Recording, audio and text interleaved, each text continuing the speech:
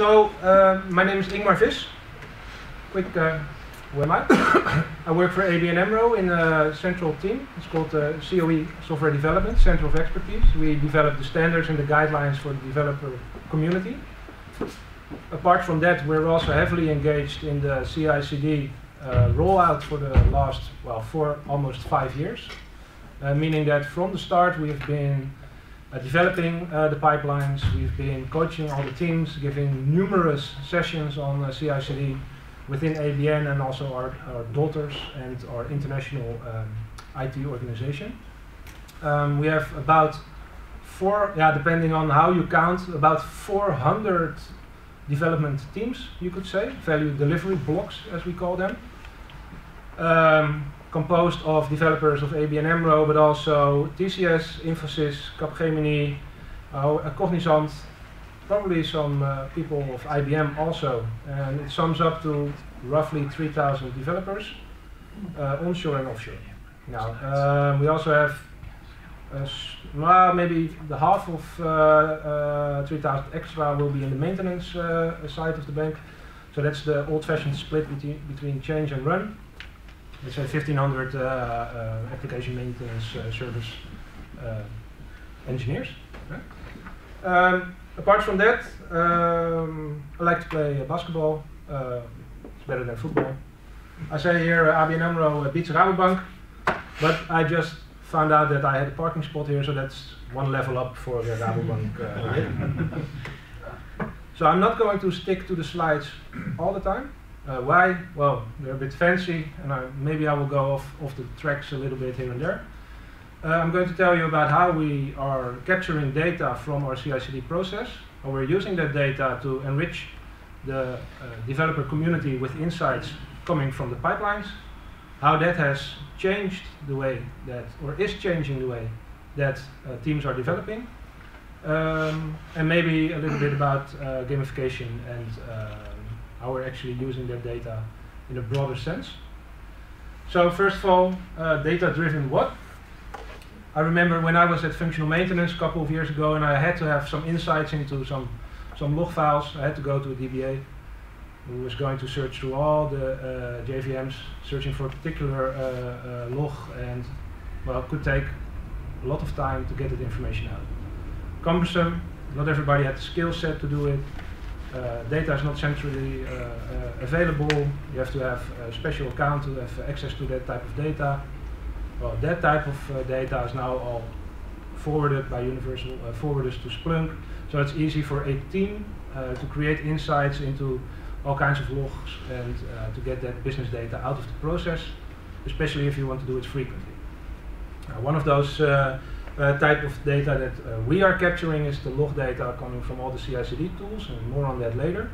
Um, we have uh, been doing this now for about a year, capturing data from the pipelines, maybe a little bit more than a year. And already we see that um, it's a never-ending story. So each time that you finally connect a tool and you get the data in and you've modeled it and you found out what is the most valuable part of this data, you find out that hey, the tool has changed, uh, the log file uh, has changed, data is uh, coming in a different format, uh, maybe a new tool is replacing the current tool. So with a small team, it's a lot of work um, to stay up to date and to always have uh, correct information for your users. And your users, in my case, are the teams that uh, develop, their management from a, a HR perspective, senior management from a total view, a bird's eye view on the whole CI/CD journey, and of course all kinds of people coming from the sides, CI/CD enablers or coaches or people who are working in IT for IT, like myself. Uh, maybe um, other people who work in an integrating uh, role who have to have insight between various teams in a value stream.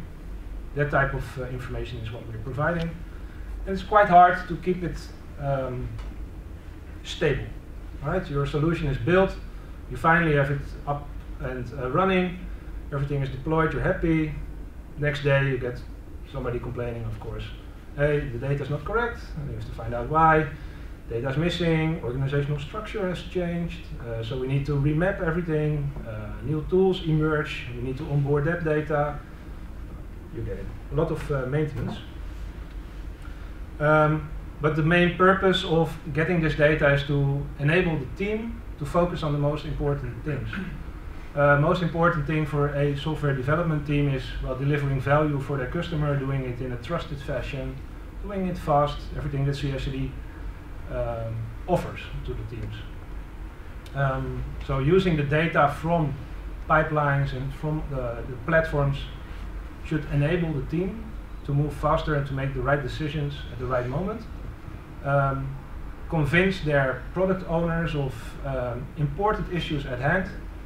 Make sure that the decisions that are being taken, and I'm talking about the IT for IT decisions here, are taken um, based on facts and not based on, uh, on merit or based on gut feelings. Um, so that's our main, main goal of uh, uh, getting this data. Um, so yeah, prioritizing the workload. And um, yeah, one of the uh, points that you see here is also automating uh, uh, your repetitive tasks is one of those CI/CD principles. Um, if you have a lot of data and you see that there is before an idle time at a certain moment in your value stream, idle time in your pipeline, you see that some steps take a long time, might be worth investigating why that is, checking what is uh, uh, taking so long, and uh, performing well re-optimization or refactoring of that part of your of the pipeline to make it smoother. Right? The transition from uh, user story to production should be as fluent as possible, zero touch if possible. Um, so automating those tasks within the workflow is the main goal of, uh, of us, not only coming from the metrics perspective, but also coming from the whole CI/CD enablement perspective. Now, this work that I'm doing, I'm doing with a small team. So currently, two people. That's not uh, really a team. Uh, it used to be six. Uh, some external consultants, very expensive, so we had to get rid of them. Uh, some people worked for ABN but chose to work for a different company. Well, that's personal uh, decisions. Uh, people stopped working for one of our vendors and moved back to India because they had personal circumstances. Okay, so now I'm currently looking for people, not here, but if you're happy to join ABN AMRO, feel free. So a lot of dev. Oh, sorry. How, how, many teams are you servicing with the IT for IT team? Uh, well, uh, every team. So that's 400. 400. 400 teams. You're servicing with two people. You're servicing 400 teams. Right now, yeah. Okay. Yeah. That's why we automate everything. Yeah. so uh, it's already a really. Uh, I'm going into uh, future of the slides, but it's already a really mature solution that we developed. Um, so it's fully automated. So servicing now comes down to maintain. And uh, doing uh, uh, work in the background means onboarding new data, uh, figuring out how to use it, uh, creating new uh, dashboards, all done with CI/CD pipelines, by the way. Um, so that's our form of servicing. well, currently getting two more people in India in our offshore development centers to support us, which means boots on the ground in Mumbai and in Pune with TCS and with Infosys. Uh, so that will also be a nice addition. Uh, also to have people there because I was there uh, very recently, and uh, well, it's a whole different topic. But coming from CI/CD perspective, a lot of people who work in the offshore development centers feel left out, and I can understand why. Uh, those initiatives here are launched in the Netherlands. We have a big corporation here. They look at us as the headquarters, of course. Um, all initiatives come from the headquarters in their eyes and are yeah, just uh, to be followed, right, as, as guidelines or as standards, but they miss the enablement on the, on the floor there. And I understand why. So now I'm getting two people, hopefully, if they come up with the right uh, uh, uh resumes, to walk the floor there and to support our team locally. First of all, when you start with uh, identify or start with uh, capturing all this type of data, we have to investigate what's the goal here. Our goal is to serve the development community with best information possible coming from these pipelines, enable them to make the right decisions at the right moments based upon metrics, not based upon uh, gut feelings in the past, but still in the present. And I will also see that this will happen in the future.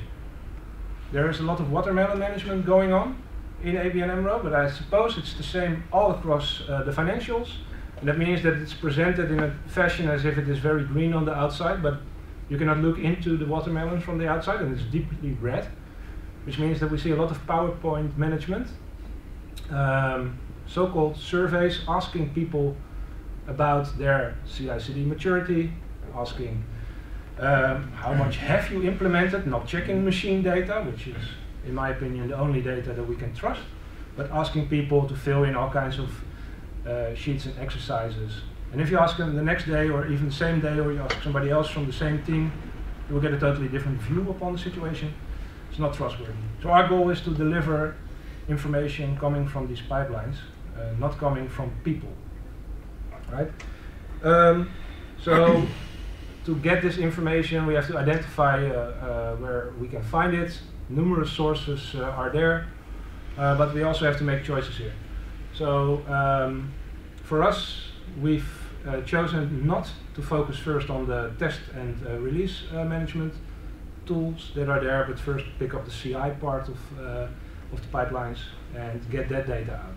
Now that's relatively simple when you say it, but still there are a lot of different flavors of tools being used for the same purpose. So looking at uh, source code management, you can see that people are using Bitbucket, which is the prescribed tool, but we also have SVN. We have different uh, type of repositories, uh, old-fashioned ones. Um, you might even see that uh, people are storing uh, source code in uh, well in, in, text files locally without a system, and I don't know how they get them into the, in the pipelines or into the into the production environment eventually. So it's uh, a, a, wide variety and wide mix of uh, different tools being used for the same purpose. Um, so there you have to make choices already. Um, our choice from the beginning has been to focus on the biggest part of the development community so we can make the most gains and not to focus or not to spend too much attention to all these niche areas of development because then we cannot serve uh, the big community. So with uh, the first setup of metrics that we created, uh, of course, of course, we started with Java uh, as the, being the biggest development community. So that's about 100, 110 teams. You could say about uh, yeah, well, a thousand different uh, applications uh, that were in scope in the beginning. Um, later on, we onboarded different technologies like .NET stuff, TIBCO, uh, we have some uh, COBOL uh, pipelines running for which we get the data. we got the mobile native stuff and the JavaScript stuff. So now we have a broader scope, but not yet everything.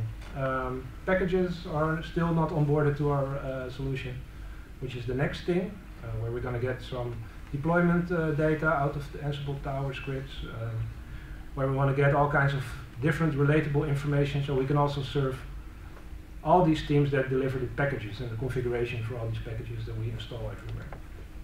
Um, so you make these choices, you have this data, you store it, you collect it. Uh, then comes the, the fun part, which means oh, now we have all this data, we have, uh, we have access to it, and we have this, this data lake, you could say, of CI/CD information. And now we're going to have to relate everything to each other. And well, it sounds like fun in the beginning because now finally you can start and start developing something, and then you find out there's no correlation between all these steps in the pipeline. And I'm not sure if anybody here recognizes this, but from the beginning of uh, the workflow, which means, well, can be your CMDB, or simpler said, a user story, you can also expect that you would tag your user story to a commit, which would be a solid uh, principle of software development, in my uh, opinion. then you would expect, I'm talking expectations, then you would expect that commit to be, well, part of the build, and then you can track your build through all your analysis steps. You expect that the snapshot or the version that is deployed to your uh, repository um, is also tagged to that commit, which is tagged to that user story, which is then tagged to the IT product or the business application. And then you would expect that that snapshot or that version of the application is tagged to a release and then to a deployment and then to an environment and then that is delivered back to your CMDB. That would be my expectation. But none of that is true. so there is no correlation between start, middle, finish, or in between steps anywhere. So that was, uh, yeah, like a punch to the stomach. And if you are uh, taking all this data and you want to create these insights, and expectations are really high for management also that uh, we're going to finally get insights into our uh, data. And finally going to see how much uh, value is CI/CD delivering from a um, uh, time to market reduction perspective or from a different perspective of quality of software, how much value is it delivering? And you cannot tag stuff to uh, actual applications or to teams or to whatever organizational structure. Then you feel really uh, des uh, uh, uh, well, desperate to create a solution there. So, twofold solution. In this case, let me go to a, a next slide where you see some nice watermelons. Um, twofold solution here. First of all, uh, what we did is we created a key value store um, where we would allow teams to onboard their applications, their artifacts, their components, their pipeline data, all the parameters from the different uh, sub-steps of CI/CD. So you can expect, well, if you have a component and you push it through a pipeline, in each of the tools, it will have a value, a parameter that represents that component, right? In SonarQube or in Fortify or in Nexus Lifecycle, or whatever step it is in a pipeline, that component will have a value in that uh, uh, source system. Now, we allow the developers to register their components in this key value store. Had some um, feet in the in the earth, some uh, had some difficulties uh, uh, to get this up and running. But eventually, with a little bit of convincing and a little bit of uh, stick and carrot, um, we got uh, our at least our offshore community to onboard close to 100% of the software that they're working on to our solution. Um, and onshore, it's a little bit difficult because uh, well, the, the, development culture uh, nowadays suffers from a lot of well prioritization stress. Uh, coming from uh, product owners who are pushed with their back against the wall uh, by business, um, and their back against the wall not to spend time and resources on fixing IT for IT stuff, or refactoring, or putting effort into security, but deliver that business value. And if the product owner is with uh, his or her back against the wall, well, the team is not going to cooperate uh, and bypassing their product owner. So there's a lot of convincing that has to take place in different uh, uh, ways uh, to get people to actually start onboarding. And uh, part of that convincing has to do with showing, of course, the benefits. And I found out the best way is to do the oil oil spread. What's it called? The, to let other teams who already make use of uh, dashboarding and metrics uh, to tell their story in big demos, etc., and uh, to let them showcase to the others uh, what it has offered to them. So it's one of the ways that you can convince people. There are no, uh, numerous other ways.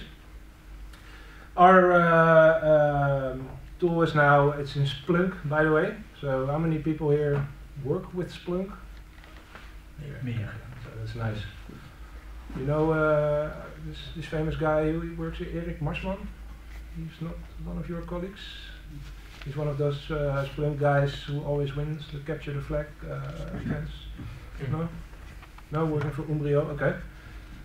Well, it's good that he's not here because he has uh, the highest uh, skill level I've ever seen. Um, how do you like Splunk? I like it a lot. I've been uh, working with it now for two years. I think it's great. It's a bit expensive, uh, you could say.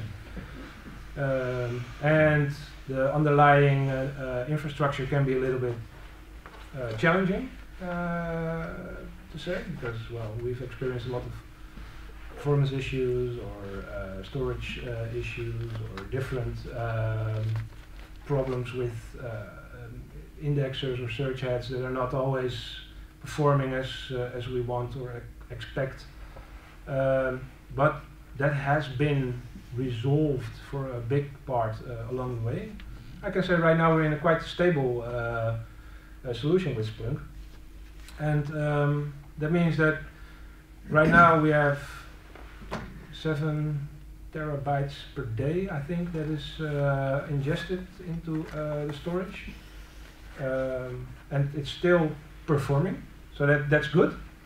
And out of that 7 terabytes, for us, for this metric uh, story that I'm telling, you could say that roughly, maybe, if I'm lucky, 500 MB is ours. So we're like this water drop on the total uh, total Splunk uh, side. You could say the, the uh, remaining 99% of uh, data is used by CISO for uh, threat analysis and all kinds of network monitoring. Um, so we extract our uh, data, and um, what we do with that data is that we use it to analyze and to show trends. I found out that um, the most important thing to, to display is a trend, not a snapshot of, uh, of data. Uh, management is now uh, looking at our uh, dashboards with a completely different view. When we first started, it was uh, snapshot uh, data where you would see the latest uh, state of the number of blocking violations, as an example, or the amount of technical debt, or whatever metric that you can come up with. Now we have been doing this for a year and, or longer, and we have all that data, of course, summarized. So it means now that we can show all these trends on uh, CI/CD on uh, various different uh, crosscuts. So we uh, store this data at the lowest level. Let me not uh, get ahead of this. I'm, uh, I will show it in the next slide. But we store this data at, uh, uh, at a very low level, which means that we have options to aggregate everything. I will get into that in the next uh, next slide. Um, currently, we have about 1,500 pipelines that are onboarded to Splunk, to the CI/CD metrics overview. This is data that is coming from, well, a, a wide variety of. Um, but we've chosen to uh, now um, pick the standard pipelines and use the data from the standard pipelines in our solution. Like I said, not the niche uh, variations. There are so many different uh, off-brand pipelines uh, uh, uh, spread across the bank. It's difficult to capture that data and to relate it back to a generic overview. So we capture that uh, those uh, standard pipelines, and um, the beauty of uh, the solution is that uh, because we ask teams to onboard themselves to uh, this KV store in Splunk, they not only mention their uh, CI part and their CD parameters, but they also start mentioning, and there are of course separate fields for this, the IT products, the, the business applications, and different CMDB uh, type of fields that relate to the source code. Um, in normal CMDB um terms, at our uh, CMDB uh, setup, you will not find anything that is related to code. You will only find business applications, business application owners, data owners, IT products, um, hardware, that type of uh, information, so the, the CIs, but you will not find the components, which we now refer to as parts. Um, these parts are actually the stuff that's going through the pipeline. And we ask these teams, hey, onboard your parts, but also onboard your CIs in the same row. Now we have a bridge between dev and run that's now established here for all these uh, onboarded teams. We can now say, you've made a change. Your change was, um, well, you, you updated your source code with 10 lines of code. Uh, you deployed it to this environment. And we now see that the number of incidents remains at zero for your IT application. So you did a good job. Hey, your uh, incident count on production is up to, uh, I don't know, five in the last 24 hours after you made a change. Maybe there is a relationship. It's not always the case that every production uh, disturbance is caused by a change. But if it is so, then this will help you with starting your root cause analysis. So that's already a nice bridge between dev and ops here for the teams. As we move to a more DevOps uh, mind state at ABN, you will see that teams are now onboarding their application logging in uh, Splunk also, and that they combine application logging, social media type of stuff, CI/CD data, and maybe financial data into one overview where they have more grip on their actual team performance. So for teams, it's a big game to get all this data on one uh, single platform. So I like it a lot, and a lot of teams are already uh, uh, well asking now also for mobile uh, uh, apps, etc., where they can view this information from their uh, home office when they're on pager duty. So it's now already going to the next level. Um, unfortunately, we cannot offer a mobile solution with Splunk yet, um, but I think it's going to come in the well near future. They now released an Android app, I've heard.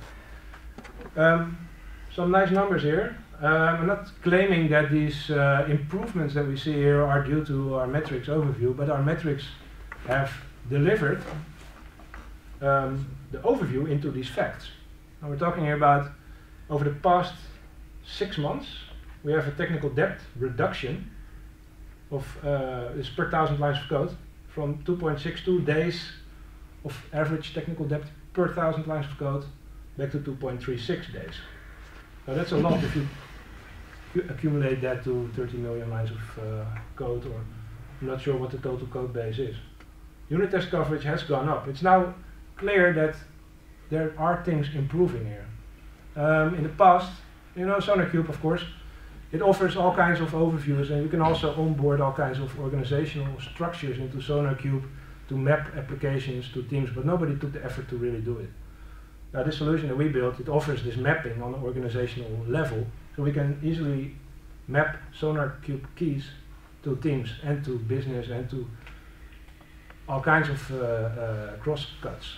So we see an increase of uh, unit test coverage. We see the number of blockers uh, in SonarQube going down. um, the critical violations in Fortify um, from well 0.4 to 0.3 per thousand lines of code. And open source vulnerabilities, it's already really low. We're talking about uh, threat level 10 violations here. It's gone down from 0.57 to 0.45 or 0.045. So yeah, it's, it's an insight, right? This is what management also wants.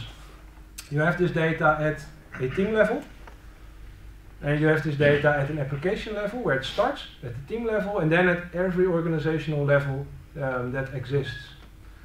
So what we do, um, we capture it, I call it here a micro uh, level.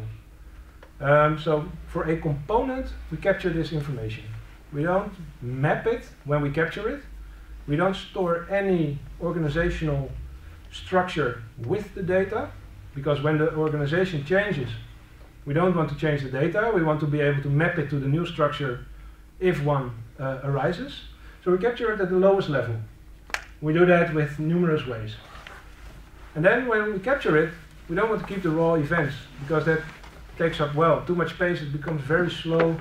Uh, we have this hot, warm, and cold storage thing in Splunk, where after a fixed uh, data size or a fixed uh, time span, data is shifted from hot bucket, which is like flash drive, to warm, which is like normal, and then cold, which is like terrible.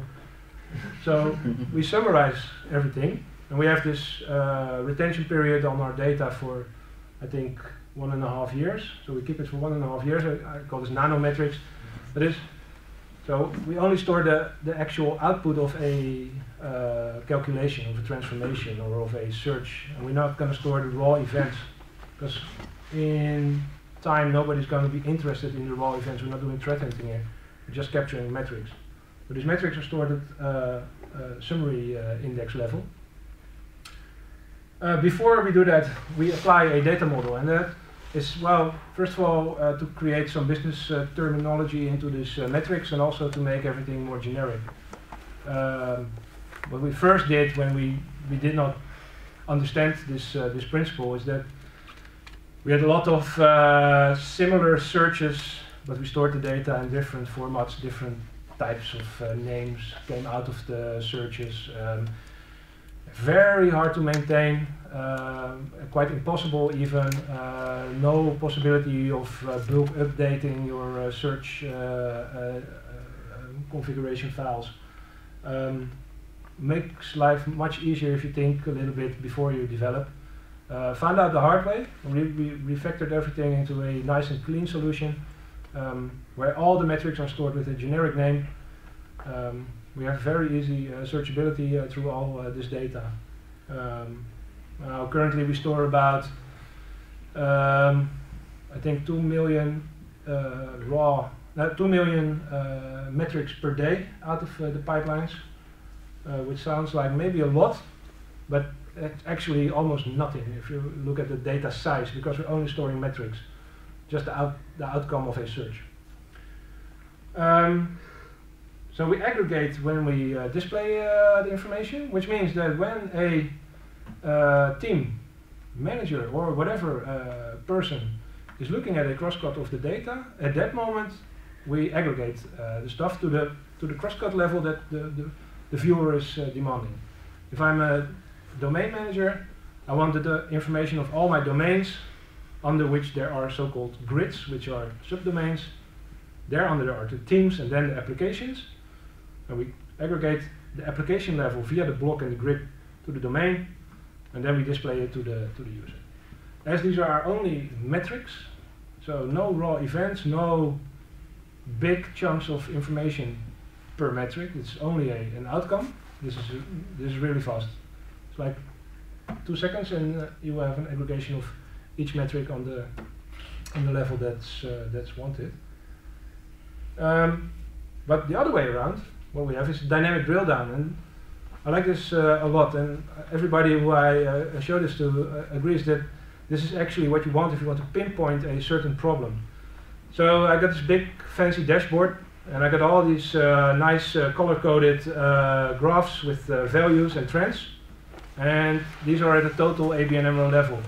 So you will see that, for example, the we score every uh, component with a uh, code quality score. This is something that's uh, done by us.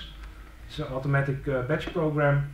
Takes some uh, SonarQube data, some Fortify data, weighs certain factors, calculates a score from 0 to 10, where 10 is good, and does that on a daily basis for each component. Now, we store all that information. That comes down to a, let's say that you have a 6.1 for your component as a score. That's really nice. But at the total ABN AMRO level, let's say that we have 6.1 rather. And you see that it has gone up. So that's good, right? We've gone up in score. But we want to see where this, this improvement come from. Then you drill down on the metric and you see the this specific metric, this code quality metric, split up by domain, and you see per domain the score and the trend. And you see, hey, this domain went really well, or this domain went a little bit down. Let's click, and you go to the grid, click. You go to the, the block, which is the team, click, and then you see the application level uh, code quality score. And you finally found out, oh, in five clicks, from a total uh, viewpoint to actually the deepest available data uh, that's there. That's the actual application that has caused an improvement or a degradation of service in one of these metrics. So that's a really uh, nice solution. Everything is uh, tokenized, which is, uh, oh, everything is tokenized. So that's uh, also something that we found out, right? Hard coding values into these dashboards makes maintenance pain in the ass. Tokenizing everything makes it way more easy. Upfront it takes a little bit more work. Um, but as soon as you understand the principle behind it and you use these tokens as values to click through your uh, system, it becomes really nice and uh, easy to maintain. Um, yeah, and some sources that we use, ServiceNow, Jira, we got the Bitbucket. Uh, so these are the sources that are onboarded to Splunk. Uh, Jenkins, SonarQube, Fortify, Nexus Lifecycle, Twistlock. We have some Excel, uh, Xebia uh, tooling, Ansible Tower, and there are some others like HP ALM um, and some other tools from which we get the data. Um, and this set is growing. However, ABN has announced past Monday officially to the development community that total on-premise data center for all uh, applications except mainframe is going to shift to Azure. And we have this Azure DevOps um, uh, CI/CD uh, toolset uh, readily available at Azure. So that means that we're going to shift all except for a number of niche uh, things, but we're going to uh, shift all our CI/CD efforts to Azure DevOps also in the coming uh, years. Um, and Azure has different ways of dealing with data than our on-premise tooling, so we have to figure out a way of displaying the same set of information to teams later on. Now we have all this uh, data, and CISO uh, is also uh, using this to evaluate high-risk uh, applications and to talk to product owners and to uh, make some uh, work, some notes on certain applications and agreements that they've made with the product owners. but they came up with a request: for, can we not create a secure coding award for the best improved application? yeah, we did. What we do every day, we score each application based upon a number, uh, number of factors, meaning the number of uh, uh, secure coding violations per day, which get a score uh, for each violation criticality. Uh, we score the open source vulnerabilities per application per day with the same type of weighted mechanism. Uh, combine those scores and you will get a, a daily score for an application, a security score, a secure coding score. You do that over time, you will see that you have teams that go up, or applications that go up, or applications that go down. Now, instead of focusing only on application, we combine this data at a team level, and we do that per quarter. And that means that at the start of the quarter, we start measuring. At the end of the quarter, we finish measuring. The biggest delta, positive delta, uh, floats to the top of the list. Then we do a review, manual review of the source code and the improvements that they did. So we're not going to award uh, team that fools the tool, or we're gonna award teams that actually improve their code. And well, they will be in the top 10 for sure. And then we have this big ceremony, uh, big stage, green light sessions, uh, top direction, top directors. They get this public recognition, LinkedIn uh, recognitions uh, for management, uh, team uh, things, right? Bowling or snacks or whatever, a shack maybe, you name it, and then it's uh, it's delivered. So uh, this is Secure Coding Award for Teams. And uh, when I was at offshore, a lot of teams came by to present all kinds of improvements that they did for secure coding and for all kinds of other things. They're really eager to showcase the, also the awards that are earned. Um, so it's a big motivator for teams to improve and to actually float to this uh, surface. And even if you uh, don't make it to the top 10, still you can showcase your improvements based upon these type of uh, metrics. There's a hidden uh, feature, of course, which is the bottom uh, 10 where you don't want to be, and this is where CISO uh, also pays a lot of attention. you also see that there are teams that drastically decrease their secure coding aspects. Um, yeah, and they will be contacted via different uh, means, not on the public stage.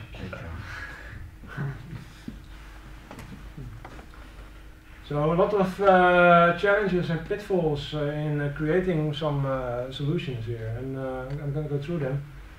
First of all, I said unsupported integrations in the very beginning already. That means um, so there are so many tools that offer lousy APIs, none at all uh, change their uh, APIs uh, without us being informed. Well, of course, they're not going to inform us, but they also don't make it very publicly known that things are changed. There's a lot of hassle with getting access uh, to data, uh, even. Um, if you need IBM to uh, provide you with access to AVM, it's going to take a while, if you're lucky to succeed at all.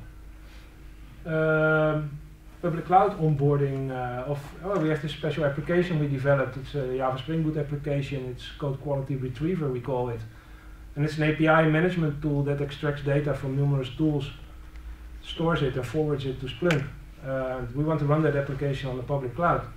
Onboarding it to the public cloud is already a big problem. And we're, we're finally almost there. And we have this AWS solution intent. And now the bank has said we're going to shift to Azure. So now architecture board is saying uh, you need to uh, create a new solution. Okay. And you have this Splunk learning curve, which is not steep in the beginning, you could say, but if you're going to be a professional Splunker for life, then you find out there are so many things that you can do wrong uh, from a, we can say, architectural uh, setup uh, for your uh, solution, that it's quite difficult to to, to, to master all these possibilities and um, yeah, we do everything as code, so we don't use uh, the GUI of Splunk anymore to create our solutions. We do everything via source code and we push it through pipelines and we automatically deploy it. I have just Yeah. one very simple question.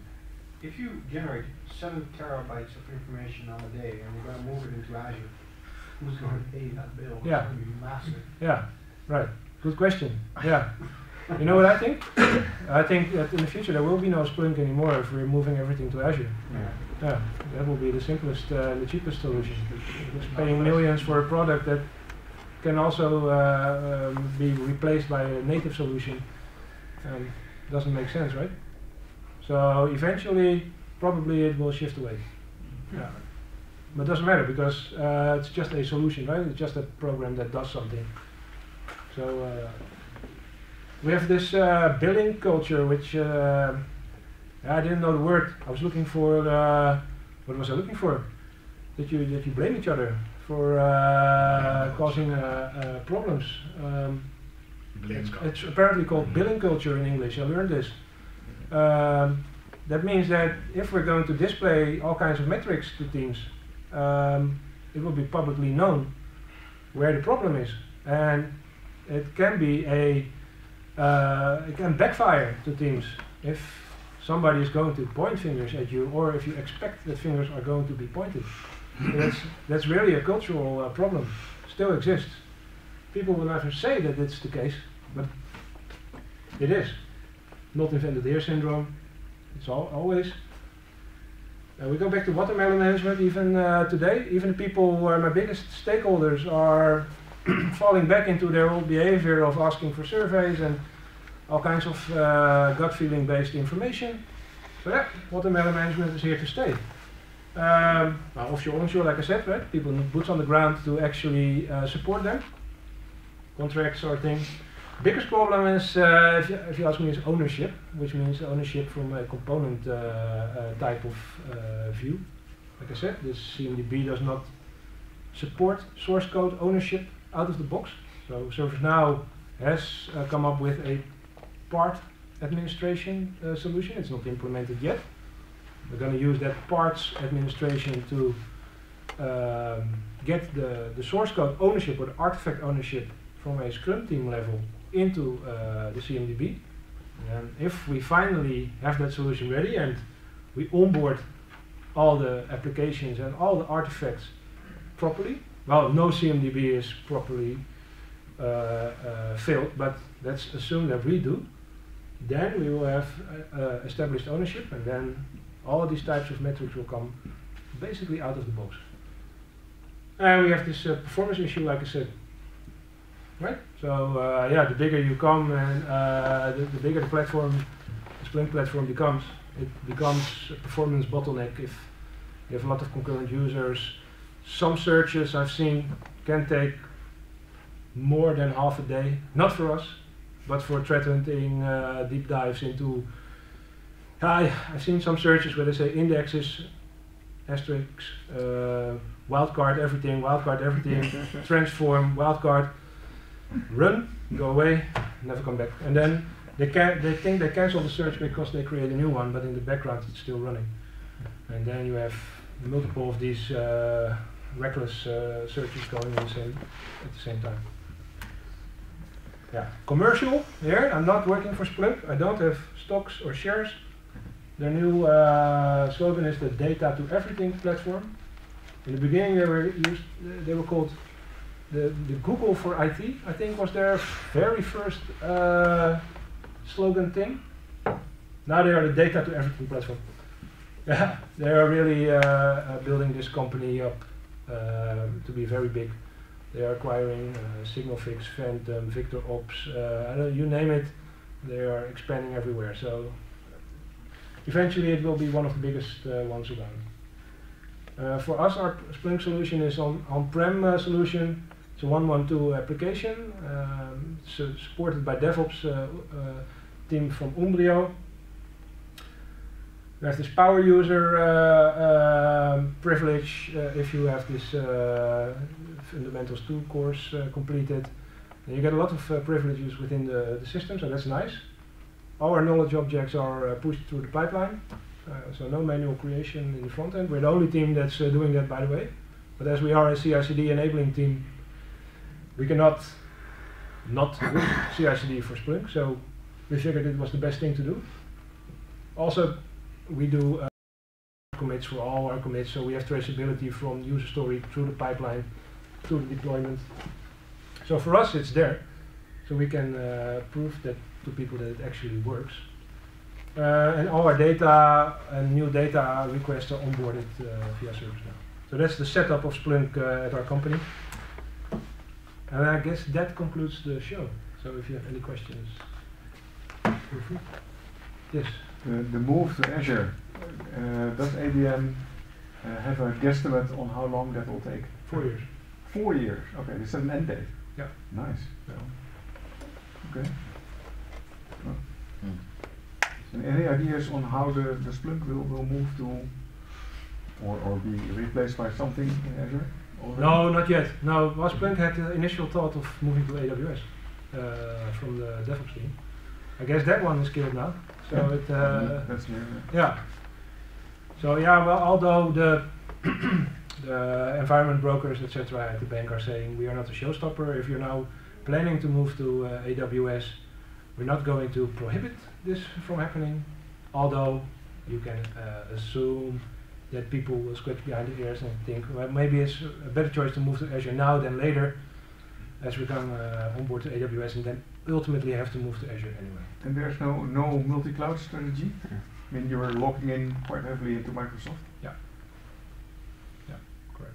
So no multi-cloud strategy. No multi-cloud. That's uh, okay. Yeah. We have on-premise for um, uh, mainframe, which is uh, so-called cloud managed systems by IBM, so you can call it a cloud. Yeah. Private, Right. yeah. And then we have uh, uh, Azure, and then of course we have, but not for uh, big workloads, but we have some very low-level AWS uh, uh, cloud for some POC uh, type of things. We have uh, Cisco Cloud UCS, which is running currently for our Xen desktops in uh, the offshore uh, um, uh, development centers. And I haven't heard how that's going to shift, but I presume that it all is going to be uh, moved to Azure. Yeah. Other questions? So Oh, you uh, so you have all data about the, the pipeline. Uh, are, do you have any plans to also include data about usage or some features per application so that you can Yeah. like, correlate these? Yeah, yeah. The teams already are doing that. So if you have application logging, right, you have all kinds of plugins that you can use for application logging and uh, send it to Splunk. Teams are already doing that. So they have uh, combinations of usage, um, performance, coming from whatever, AppDynamics or other measurement tools. They have CI/CD data plus financials, like whatever financial data is loaded uh, into the system. They combine it on a, w- on one total overview. So teams do that themselves. We offer uh, standardized metrics which can be reused everywhere. So these are run everywhere metrics. They are really easy to uh, pick up and use in your own dashboard. And if you're going to change it, then then it's up to you, right? You can uh, change everything from the layout to what it does. But not going to support that. We have this standardized uh, deck of hundreds of metrics which we have uh, accumulated and which we have created and carefully maintained. And um, it's very easy to pick one up and uh, put it in your own dashboard. All the data is public, by the way, not public for the internet, but public for the whole organization. So there's no uh, secure indexing, nothing. It's all open for everybody to use. Yeah. So, probably a very stupid question, but why why Amazon? Why Azure? Why not Google? Yeah, it's a good question. I don't know. That's uh, uh, I mean, to uh, senior management uh, who made that decision. They visited uh, Seattle uh, uh, recently and uh, did the contracting. Um, we have uh, well a lot of expertise on both platforms at the bank. We have already for a long time have two uh, CBSPs uh, for uh, one for Azure, one for uh, AWS. Uh, we have very high level of expertise on uh, on both platforms. Mm-hmm. Um, you've seen that the development community is highly invested in AWS certification, Mm. especially offshore, uh, which means like level three, or I'm not sure how this AWS certification level uh, thing goes, but let's say that level three is your third uh, nice uh, certification level. Almost uh, 90% of the people have it. Now we announced, hey, uh, Azure is the, uh, the new uh, shiny thing. Um, this means you're going to have to invest in recertification of uh, a new platform. So the decision came a little bit out of the blue for uh, for the community. Mm. So you were you were basically you were already on AWS. So you stayed on it. If you're all are already there, No, you, you you you were on AWS. That's basically the reason why you're not in a you're not in a you're not in a position to shift at all, except when you need to. Your architecture is Um, not set up in a way that you can redeploy. yeah, right, Yeah, yeah. Okay. Seattle just had a really great golf course. Yeah. really green. You have something to add? To add, Yes. uh, there is actually a number of good reasons. Can't go into detail on all of them, but one of them has to do with auditing uh, and in-depth auditing. AWS was more stringent. Uh, it wasn't allowed to go into the platforms to determine whether or not everything was conforming. And uh, on Azure, there were promises that uh, it was allowed to do in-depth auditing. That's Hmm. important for each That was one of the breaking uh, issues. Sounds like a good point. I think so. So. Probably crappy that was made at this time and not earlier. Yeah, so cloud providers are uh, not eager to show the inner workings of their uh, Mhm. data centers or their solutions to uh, to customers, right? You're just a tenant. But if we've uh, come up with a nice uh, agreement there, I don't know. I'm not in this team. Anything else? Mentioned uh, quite a few metrics. Do you have any main metrics that you track across teams or for teams in particular? Uh, main metrics uh, like code quality The, score. the ones that you find most important Yeah, well, uh, the highest focus is uh, for the past number of years it has been quality of uh, code, which means secure, the quality in the security aspects and the quality of the code in general. Those are the main type of metrics for which you have developed numerous solutions. Um, so those are the main interesting areas uh, where you can also see the biggest uh, improvements across the board. Um, yeah, so those are the main things. The funny thing, I, I found out this week that somebody, uh, and I alre- already thought of the concept that this was, of course, this is possible. And now, recently, this week, I found out that this actually happens. That somebody has done this numerous times, but has created a file in his project with 16,000 critical violations. A file that does nothing. Uh, added it to its project, renamed it a couple of times along the way, add that file to numerous projects. Which means that we have this build breaker in the pipeline, and this build breaker fails if your technical debt over the previous build until now goes up, then you have a build breaker. Now, uh, what you can do is just remove 10 critical violations from this bogus file, and your 7 new critical violations will not be measured because you have a decrease of 3.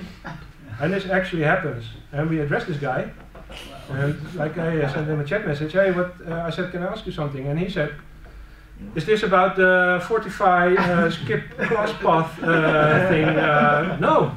So he also did that. so he's also confusing Fortify with uh, stuff. So, yeah, this actually happens, right? So, yeah. Question on, on which languages, which uh, languages are you supporting? So Java, COBOL, also .NET, and also low code environments. No code? Low code. Low code. What's? So uh, well, uh, SSIS, the, the, the Microsoft SQL modeling language stuff. No, no. So uh, Java, COBOL, uh, .NET, uh, JavaScript, um, main flavors, right? Yeah, Mainly. Yeah. Those are the main flavors, and we have numerous standard pipelines for mobile native and TIBCO and all that uh, stuff, which also in. Those are uh, smaller uh, subsets. The main thing is uh, Java. Yeah. Yeah, it's also the biggest development community. Uh, in- yeah. All right. Well, that's it. Thank you very much.